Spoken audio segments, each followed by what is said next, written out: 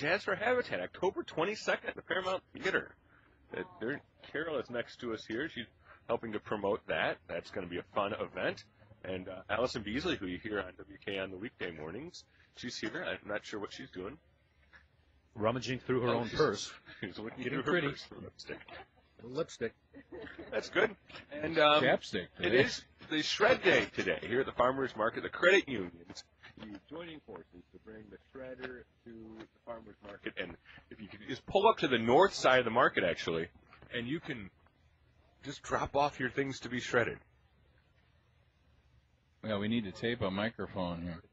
Well, you got to. Ta- did you tape it up on the top there? Well, we're gonna tape tape other things. Yeah. Two, three, test. All repairs are temporary. hmm That's a good good Don't care what anybody says. Duct tape. And somebody Your friend at home. just came with a banana. That's not a farmers market Not food. to shred. That banana's been imported. It won't Carl be does it shredded. every once in a while. He brings a banana to the farmers market. Throws some Yeah. people off.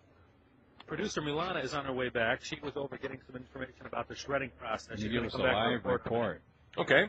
Oh, here she is. She- from the industrial. and she was wearing that brightly colored Here she is. jacket the other week. Now she, it's just pink. But she's still got the belt from the other jacket. Go, Milana, what's going on over there?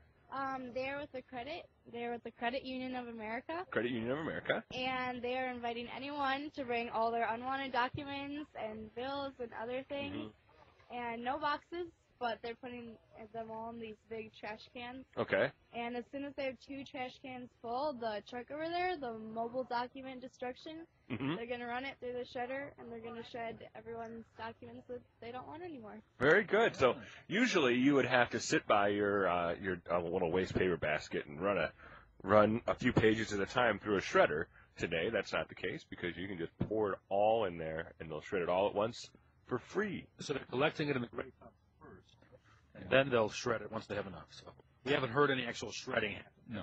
No. I believe they have one full already, and they're working on. So they come out in those little strips like you get at home.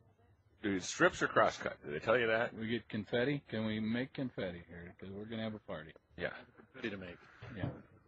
Went to the priest. We want a big, uh, big party next week when the show starts. We're gonna throw confetti all over the. No, we'll have to clean that up. No, no, we won't do that. Uh, hey, about this time on the show, we usually do the Miller Hydraulic Indiana Race Report.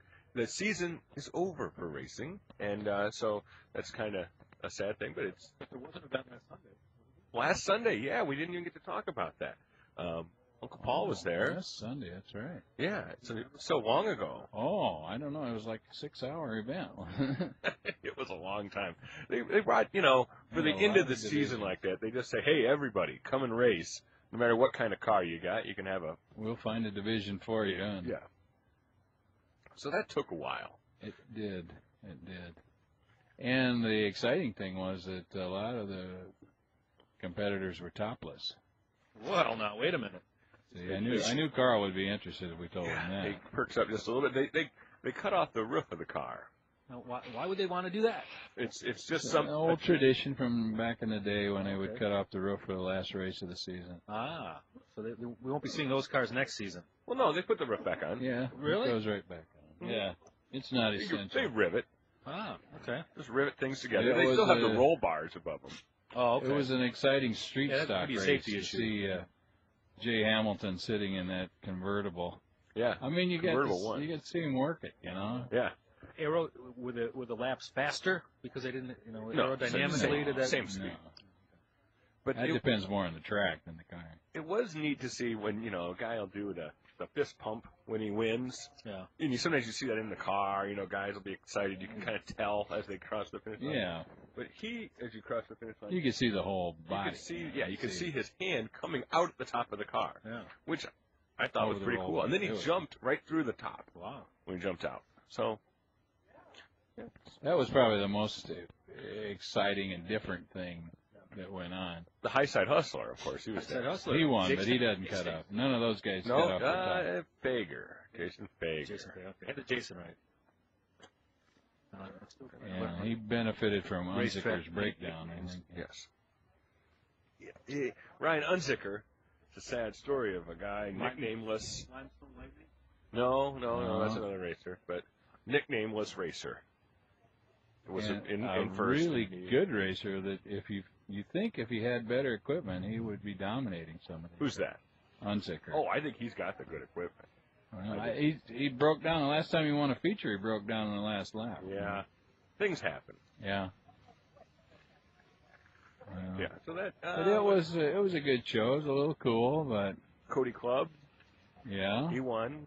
Kid from Coal City. All Somebody right. you know from Coal City.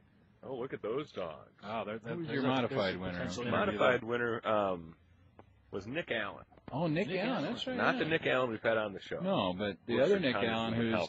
who's had some bad breaks in the past. and, yeah. uh, it's good to see him He's win. from Wheatfield, Indiana. Ah. He's about six foot four, maybe Ah, six foot So five. he, Yeah. he was glad not have the top on Oh, he didn't take the top Oh yeah, no, no, those guys. It was only the street stock took their Ah, tops okay. off. And then uh, yeah, he's about six six four, six five, about a 170 pounds, Oh. It's a tall and little thin. wisp of a thing. Yeah, hmm abnormally thin. We call it in our family. Ah, okay. But the uh, But the farmers was- market getting into full swing now today. Yeah, we're picking up foot traffic here. And some dog traffic. Dog traffic. That's four foot.